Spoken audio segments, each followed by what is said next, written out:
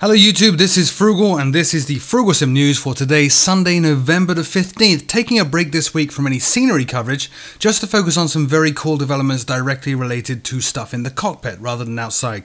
Hope that's okay. First up, Eagle's first ever DCS tournament. Now I mentioned this in last week's show. Eagle Dynamics are gearing up to host the first ever MiG versus Sabre dogfighting tournament and it looks awesome. The news this week though is that they've moved the date out to December. The competition will now take place on December the 20th, meaning we all, including me, have enough time to register in that competition. Perhaps more importantly of all, though, was the reason for this date change. The reason is due to Eagle wanting to make sure that DCS World 2.0 and the Nevada map are both released first. Yep, there's now a rough date that's less rough than previous rough date ranges. DCS World 2 and the Nevada test range map will both be released within the next month, hopefully. More info on the competition at the Eagle forums in the link in the show notes below. And yes, I am very much seriously thinking about entering. It just depends on my schedule and work and all that stuff.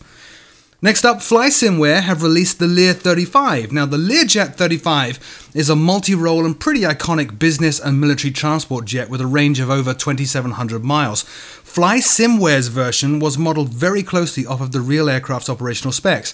It features very high quality internal and external models, including an advanced lighting system. Now, that lighting system can eat virtual addressing space, so they've actually gone the extra mile here for those that experience out of memory errors to make a download available that is easier on the memory load if you regularly fly with highly detailed scenery. Good on you, FlySimWare.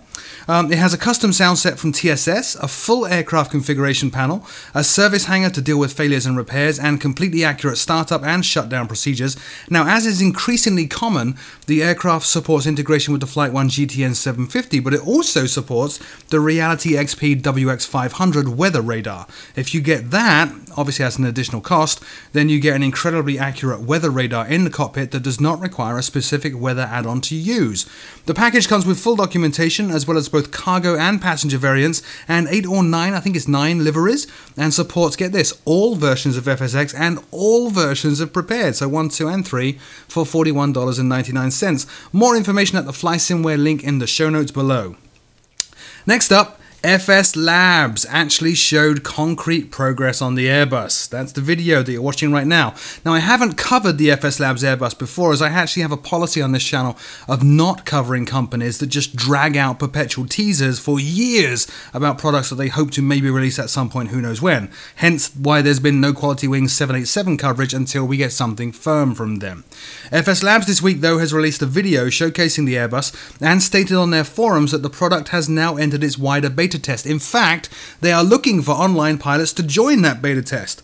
No idea how long the beta will actually run for, but at long last, FS Labs are now making noise that the end is in sight, which is great. In fact, the video which you're watching was produced with help from my good friend Ben Weston over at Airline2Sim, so the company obviously has no problem right now showing it off to a wider audience than they ever have before. In fact, Airline2Sim have even hint hinted that they're going to be releasing a full training video package just like they did for the Q400. In other news from FS Labs, though, on their forums, the company also indicated that an update to Concorde X would be with us in just a couple of weeks' time. This update making that aircraft at long last work in Prepar3D. Now, given how memory hungry, hungry X is and how much improved Prepar3D version 3 is at dealing with memory, this is all round great news. So, looking forward to some wonderful new developments from FS Labs very, very soon. Finally, Aerosoft have shown more previews of their stunning Rotate MD-80 for X-Plane. Now I say more because apparently they've shown previews of this aircraft in the past, but this was actually the first time I've ever heard about it. I went and tracked down some more information on the aircraft and found it at rotatesim.com, the developers. And I gotta say now I'm really excited. Rotate MD80 looks like it may well be a near study level version of the MD80 for X-Plane.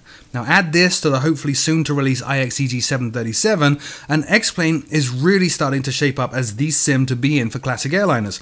The add-on will model ILS alignment, all nav modes, all cockpit procedures from cold and dark through to shutdown, the full MD80 FMS, all autopilot modes, the pneumatic systems, the electrical systems, and seriously much, much, much more. You really do need to check out rotatesim.com for the full list of everything this aircraft's going to have. It's pretty crazy.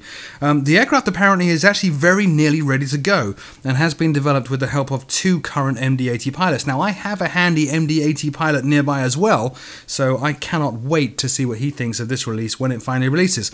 So as I said, no scenery news this week, just because I wanted to take a break from it, and um, honestly, I'm getting ready to go on vacation. Hope that's okay. If I did miss anything of vital importance, though, do leave me me a link in the show notes below.